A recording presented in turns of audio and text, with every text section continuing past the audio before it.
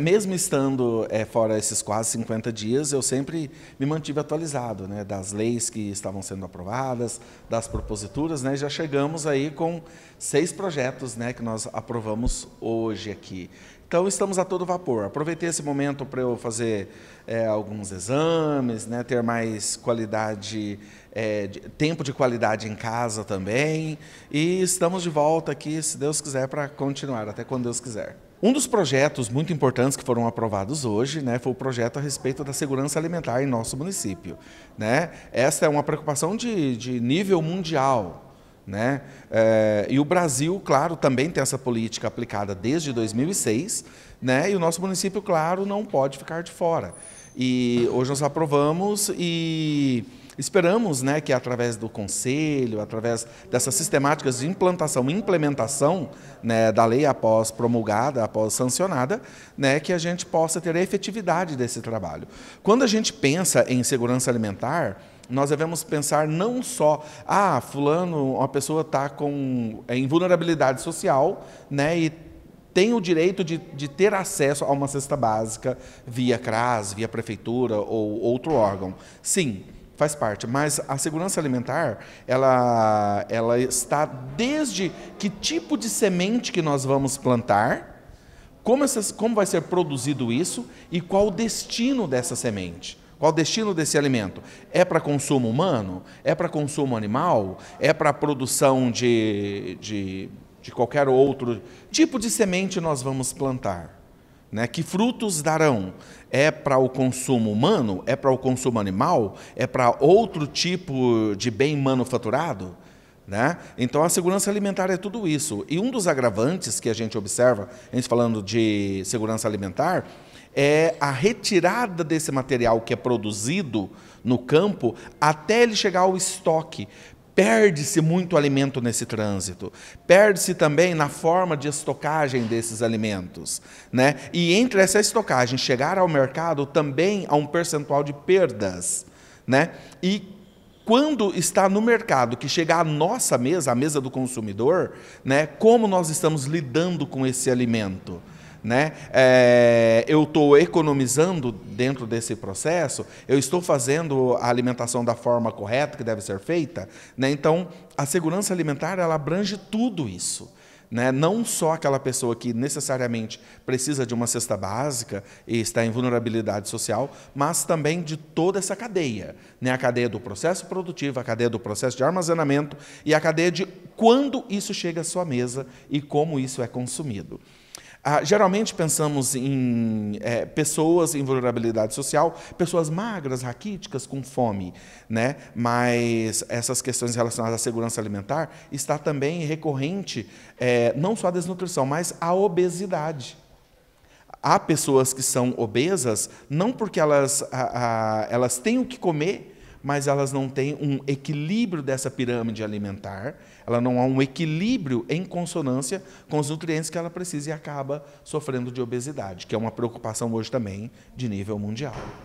Professor, no que diz respeito a essa parte da saúde ainda, pode implicar também geração de emprego, né? nutricionistas, também fiscais, para poder fiscalizar essa parte que será cobrada. Sem dúvida, sem dúvida, né? O nosso município nós produzimos muito alimento, né? Inclusive é, cito a agricultura familiar. Agora, nesse exato momento, nós estamos tendo as produções de mexericas, né? Das mexericas pocã. Um outro fator importante também, falando nessas questões, é, em se tratando de economia e também de social, emprego, geração de renda, é, os cafés ah, já está no ponto de colheita também. E ele precisa de gente para ajudar ele a colher. Só que quem é que ele vai ter para ajudá-lo a colher esse café? Alguém que entenda disso. Né? Alguém que possa, de fato, ir lá e ajudá-lo dentro desse processo. Então é toda uma cadeia. Né, uma cadeia de produção, uma cadeia de, de promoção de vendas, né, é uma cadeia de, de trabalho como um todo e gera benefícios para o nosso município, com certeza. Uma semana passada foi a Semana do Meio Ambiente, foi a quarta edição né, da Semana do Meio Ambiente. É interessante quando a gente fala sobre isso, porque ele é um evento que ele vem crescendo a cada dois anos. Né? A, gente, a, cada dois anos nós fazemos e, e, ele só vem crescendo. Sim, estava na nossa agenda visitarmos o Parque Nacional das Emas, né? fomos lá com os colegas é, biólogos, pedagogos e tal. A nossa ida ao Parque Nacional das Emas foi justamente para nós é, conhecermos o espaço onde ele pode ser usado, tanto para essa questão da ecologia e da educação ambiental com os nossos estudantes. Né? A gente não vai só para se divertir, a gente vai para pesquisar, ver o que, que acontece ali, o que, que ele pode nos oferecer para nós levarmos ah, como atrativos para a nossa comunidade. Né? Fomos também a Alcinópolis, né? visitamos o Templo dos Pilares, nesse mesmo sentido também, né? exploração de fauna e flora, arqueologia, arte rupestre, né? que é tão pertinho aqui do nosso município, para entendermos como acontece esse processo em Alcinópolis, porque aqui em Alta Aquari nós também temos essas áreas de arte rupestre, cujo fizemos né, a, o levantamento né, o ano passado com o pessoal da UFMT. E assim, avalio que foi muito produtiva. E claro, culminantemente, nosso agradecimento a vocês da TV, né, que vocês são as pessoas que vão levar o Tutaquari para o mundo, que vão eternizar esses momentos. Né?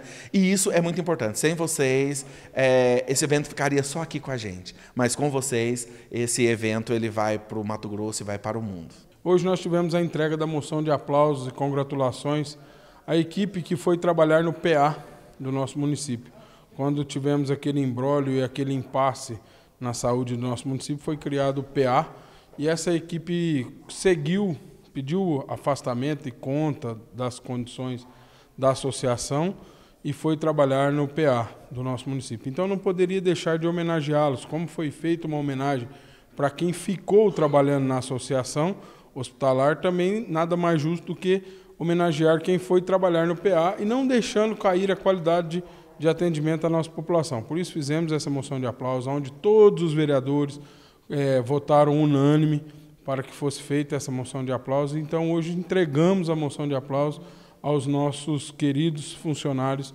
do PA. Seria isso só que nós tivemos hoje de moção de aplauso, mas teve várias esse ano. A gente sabe que a nossa população merece, merece muito um bom atendimento e os nossos né, trabalhadores da saúde, trabalhadores do, em geral do nosso município, vem se dedicando muito a esse êxito à nossa população. Esse pessoal saiu da associação hospitalar e foi para o PA. E, nem os, e teve vereador que fez uma moção de aplauso para quem ficou na associação. Então, nada mais justo, porque eles também ficaram sem receber, perderam seus direitos salariais e foram trabalhar no PA para não deixar a população desassistida na parte da saúde. Por isso, nada mais justo que fazer essa homenagem para esse pessoal que tinha ficado sem a homenagem da moção de aplauso.